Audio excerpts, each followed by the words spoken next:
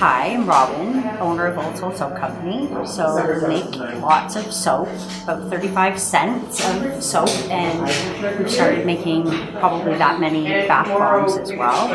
Um, my favorite thing to make is soap though, and I like uh, making soap out of different things. I can make it out of beer. I collaborate with Stack Brewing. I use cucumbers from my garden. I use chaga mushrooms. Anything all natural. My soaps are all natural, free of synthetic fragrance, free of synthetic color, and we pride ourselves on that. I have a few events coming up. We'll be at uh, eLocal Sudbury pop-up on December 2nd. We will be at Laurentian University with Makers North on December 8th, and we are on the road to North Bay on December 10th.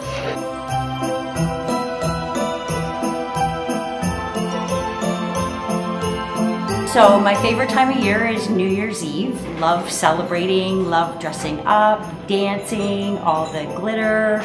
This year I'm going to Victoria, BC and we're going to a black tie gala. So I'm extra, extra looking forward to that.